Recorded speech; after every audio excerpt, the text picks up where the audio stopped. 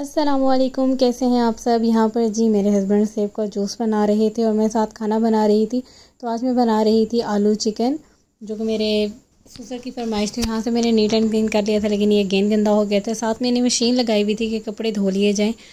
क्योंकि कपड़े धोना भी ज़रूरी थे। और यहाँ पर मैंने वो शरेम सोए में, और यहाँ पे जी मैंने रिंग लाइट रखी थी कि मैं किसी टाइम वीडियोस बनाऊँगी टिकटॉक के लिए यूट्यूब के लिए, क्योंकि मुझे अक्सर रिंग लाइट ज़रूरत होती है। और यहाँ पे मैंने सारी सफ़ाई कर ली थी और इसके अलावा मैंने कहा, यहाँ बेड के ऊपर कोई हम डेकोरेशन वगैरह करेंगे जब हमें वीडियोस बनानी होंगी। तो इसके अलावा नेक्स्ट डे हमने बनाई थी कलेजी जो बहुत मज़े की बनी थी और वो हमारी दिन को ही ख़त्म हो गई थी, रात की बारी ही नहीं आई।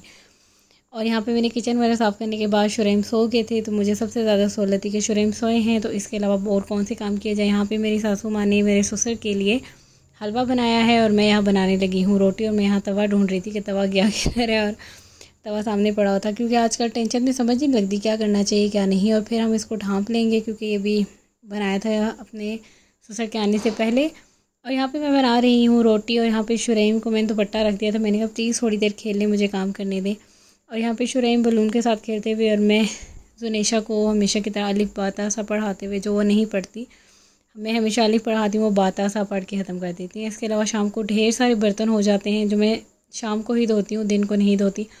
तो मैंने उठा लिए थे, इसके अलावा मैंने जल्दी से कर लिए थे। और यहाँ पे यहाँ पे सफ़ाई कर चुकी थी और यहाँ पे हस्बैंड के कपड़े पड़े थे, मैंने कहा उठा के वहाँ पे रख देती हूँ। और नेक्स्ट डे मैंने बनाए थे बैंगन, जो कि बहुत मज़े के बने थे। बैंगन भरता थे। लेकिन मेरी ये सजेशन है कि छिलका उतार के बनाए जाएँ तो ज़्यादा बेहतर है। लेकिन मेरी सासू माँ ने कहा था, नहीं, छिलके के साथ ही बना और यहाँ पर जो हम अदरक, लहसुन का पेस्ट हमेशा बना रहता है, क्योंकि अचानक से कोई गेस्ट आ जाते हैं तो मुझे सबसे ज़्यादा ये सहूलत होती है कि बना हुआ है।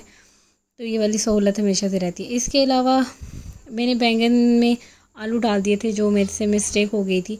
भरता तो बन गया था और यहाँ पे मैंने पेस्ट भी बना के रख दिया था, लेकिन उसमें ये हुआ कि अच्छा नहीं बना फिर। लेकिन यहाँ पे शुरेम को मैं झूले दे रही थी किचन में मैंने रख दिया था, क्योंकि मुझे आज बहुत सारे काम थे करने थे। तो मैंने कहा, चले, शुरेम भी मेरे साथ होगा तो इन्जॉय करता रहेगा। साथ खाना बन जाएगा, साथ में इनको देखती रहूँगी। तो ये कि अगर आप ये रेसिपी ट्राई करना चाहते हैं तो मेरे ये सजेशन है कि आलू नहीं डालने और छिलका उतार देना है बैंगन का। क्योंकि मैंने फ़र्स्ट टाइम बनाए थे, बने बहुत मज़े के थे। लेकिन कुछ चीज़ों में ऊपर नीचे मिस्टेक हो गई थी। घर की सफ़ाई वन टॉल कर ली थी, दरवाजे खोल दिए थे। आबो हवा के लिए। अगर आपको मेरा ब्लॉग अच्छा लगा है तो लाइक सब्सक्राइब एंड शेयर ज़रूर कीजिएगा। अल्लाह हाफिज़।